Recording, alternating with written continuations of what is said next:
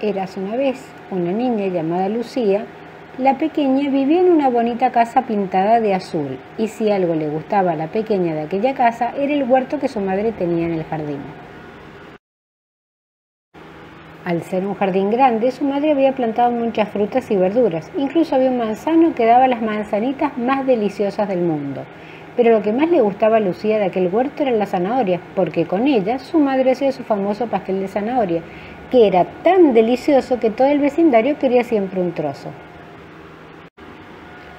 Un día, sin embargo, sucedió algo muy extraño. Cuando la mamá de Lucía se dirigió al huerto como de costumbre para recoger unas zanahorias con las que hacer su famoso pastel, y es que no hay ninguna, exclamó preocupada.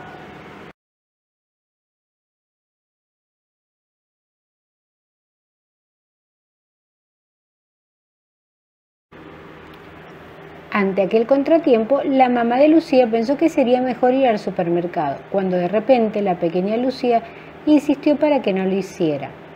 Lo que más hace especial tu pastel de zanahoria es que la cultivas en tu huerto con amor, mamá, dijo la pequeña. Además, hay algunas zanahorias que pronto estarán listas para cosecharse de nuevo y podemos plantar algunas más.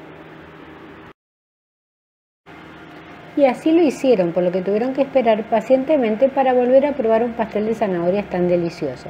Sin embargo, cuando intentaron recoger las nuevas zanahorias que ya habían crecido para hacer un rico pastel, de nuevo las zanahorias habían desaparecido. Oh no, no hay ninguna otra vez. Yo creo que alguien se las está comiendo, creo que hay un rastro, concluyó Lucía como si fuera una pequeña Sherlock Holmes. Sí, eso parece, hija, pero ¿quién? Me temo que habrá que averiguarlo. De nuevo Lucía y su mamá se pusieron manos a la obra para sembrar una zanahoria que poder recoger más adelante, y cuando se fue acercando la hora de cosecharla, Lucía decidió no quitarle los ojos de encima. Debo descubrir quién se come las zanahorias para que mamá no se ponga triste. No puede ser posible que lleve tanto tiempo sin probar su delicioso pastel de zanahoria. No es justo.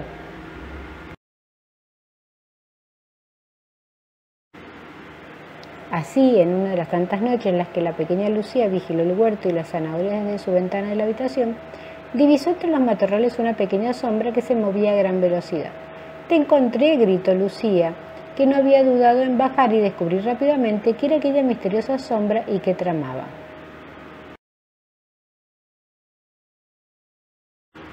Sin embargo, con la misma velocidad que había aparecido la sombra, desapareció sumiendo en el absoluto fastidio a la pequeña. Su madre, que la observaba desde el portón de la casa, decidió que era momento de ayudar y ella misma se dispuso también a atrapar la sombra. Aquí está el ladrón de zanahorias, hija. No es más que un travieso conejo que seguro habrá dado un buen festín con nuestra zanahoria. Oh, ¿quién lo hubiera imaginado? expresó la niña. El conejito, que era negro como la noche, no tenía cara de ladrón, sino un hocico muy gracioso y simpático, por lo que decidieron quedarse con él para que pudiera disfrutar cuando quisiera del pastel de zanahoria, sin tener que cometer una acción como la de robar. Y fue así en la siguiente cosecha, la pequeña Lucía pudo volver de nuevo a comer el delicioso pastel de zanahorias que preparaba su mamá, compartiéndolo esta vez con el nuevo y divertido miembro de la familia. Qué contenta estaba Lucía, y no solo porque al fin ya había zanahorias y tenía un nuevo amigo, sino porque se había convertido sin querer en la mejor detective de huertos de toda la historia.